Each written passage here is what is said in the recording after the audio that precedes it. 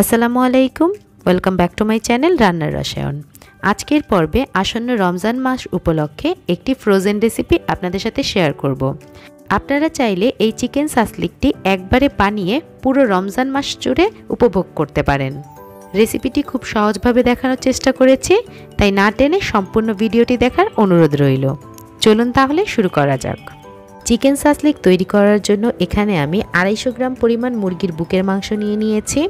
এখানে আমি হাড় ছাড়া মাংসটা ব্যবহার করছি। এতে দিয়ে দিচ্ছি হাফ টেবিল চামচ পরিমাণ আদা রসুন বাটা।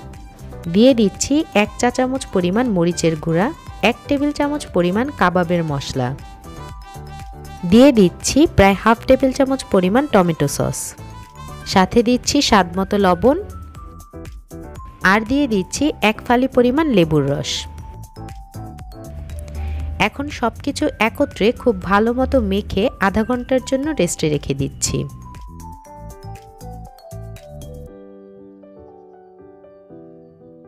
আধা ঘণ্টা পর এতে দিয়ে দিচ্ছি হাফ টেবিল চামচ পরিমাণ সরিষার তেল। সাথে দিয়ে দিচ্ছি ক্যাপসিকাম এবং গাজর। এগুলো একটু মোটা করে কেটে রেখেছিলাম। এখন সব কিছু একত্রে খুব ভালো মতো মেখে নিচ্ছি। এই সাসলিকটা তৈরি করার জন্য আমি আজ এই রকম কিছু সাসলিকের কাঠি ব্যবহার করছি। আর এই সাসলিকের কাঠিগুলো আপনারা খুব সহজলভ্যভাবে ইয়ামি বেকিং বক্সে পেয়ে যাবেন। পেজের লিঙ্কটা ডেসক্রিপশন বক্সে দেয়া থাকবে। এবার সাসলিকের কাঠিতে একে একে করে গাজর, ক্যাপসিকাম এবং চিকেন গেঁথে নিচ্ছি।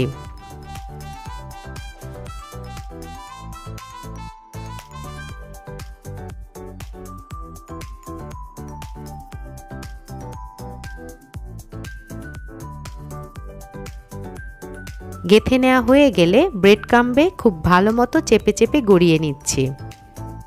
এই কাজটা খুব ভালো মতো করতে হবে। এক স্তর পরিমাণ ব্রেড ক্রাম দেওয়া হয়ে গেলে এবার রেখে ডিমের মধ্যে ডুবিয়ে নিচ্ছি।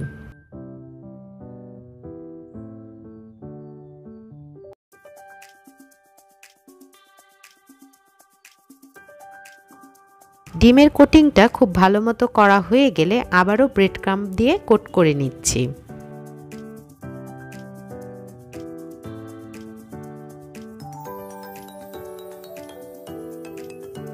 আপনারা এই সাসলিকগুলো ফ্রোজেন করতে চাইলে একটা এয়ারটাইট বক্সে ভরে নিতে পারেন এবং একটু ফাঁকা ফাঁকা করে রাখতে হবে। এবার এটা ডিপ ফ্রিজে সংরক্ষণ করতে পারেন প্রায় দুই মাসের মতো।